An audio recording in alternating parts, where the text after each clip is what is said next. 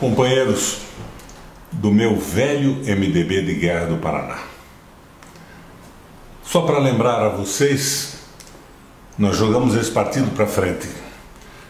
Com o PMDB, eu assumi por três vezes o governo do Estado. Com o velho MDB e a força do partido, ganhei a prefeitura de Curitiba do Jaime Lerner, que à época era um ícone da direita e que tinha qualidades administrativas, mas nenhuma sensibilidade social.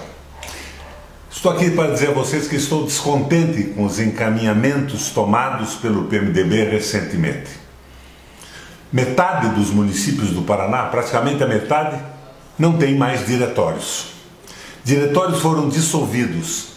Abriram o partido para pessoal de extrema direita. Temos presidentes de diretórios importantes que são cabos eleitorais da direita apoiando o Bolsonaro. E o partido não se manifesta com a devida força em relação ao Ratinho. Vocês lembram do nosso governo? Panela cheia, trator solidário, isenção de impostos, congelamento de água e de luz por quase oito anos. Nós pensávamos no povo e nós tínhamos um governo que criou 800 mil empregos de uma hora para outra com estas políticas inclusive a redução de impostos. Vai mal o PMDB, estou em total desacordo com o encaminhamento que a atual direção imprime ao partido. Agora inventaram uma convenção fantasma.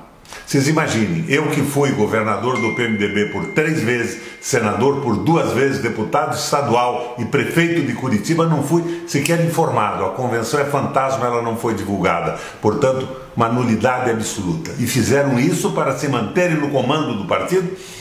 E o partido, desta forma, de uma maneira bem clara e objetiva, não elegerá deputados estaduais e federais porque não tem legenda, porque virou um instrumento de apoio a determinadas pessoas. Ao invés de procurar no município os melhores quadros para a renovação e para a melhoria da atuação do partido, montam comitês eleitorais. 200, 300 votos para eles é o suficiente. Não tem importância que se perdemos a prefeitura e se não elegemos o vereador sequer. Isso está errado nós temos maneira de recuperar a imagem do velho MDB de guerra, que através de muitas administrações sempre foi um partido extremamente identificado com o povo do Paraná.